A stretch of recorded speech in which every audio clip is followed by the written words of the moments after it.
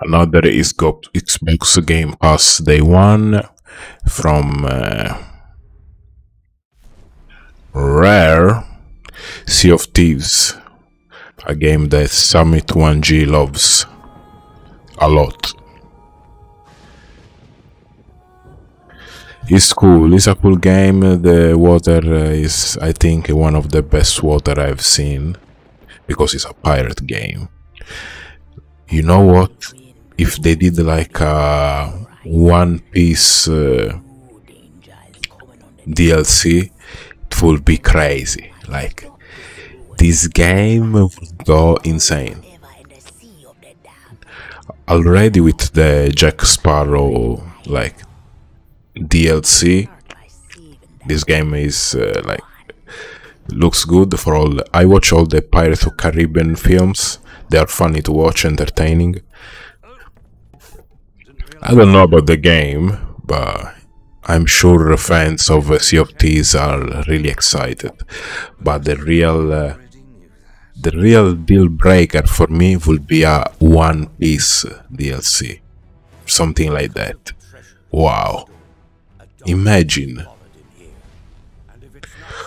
Wow! Wow! Yeah. Imagine like uh, you can uh, grab uh, like uh, devil fruit, consume them, and obtain powers. That will make the game uh, wow. Yeah. Imagine you can steal other people. Like if you kill someone, they lose the power. Like uh, your devil fruit is not permanent. Like if you die, you lose the power, and someone can take it.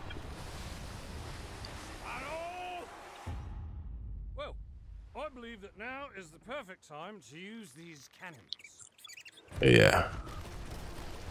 A world without the attack. It's a cool DLC. I'm not sure about the graphic if if it's improved because to me it always looked uh, this good.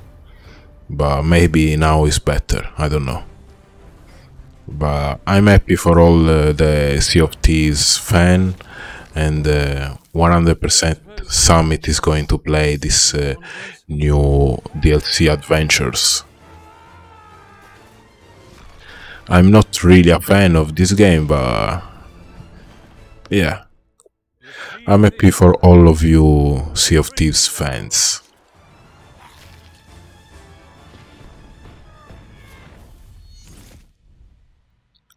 The art of this game is uh, insane. I really like it. An epic original story. June 22, so pretty soon, and uh, people are gonna be able to enjoy this amazing game. How many of you are excited about this game? Let me know with a like. this is like some shitty uh, like scam. Let me know what you think about this game in the comment section. If you're excited, if you're not, if you don't care. And uh, thank you for uh, listening to me, to being here. And uh, if you reach the, the end of this video, comment uh, crazy shit. Thank you for watching, and uh, I'll see you later.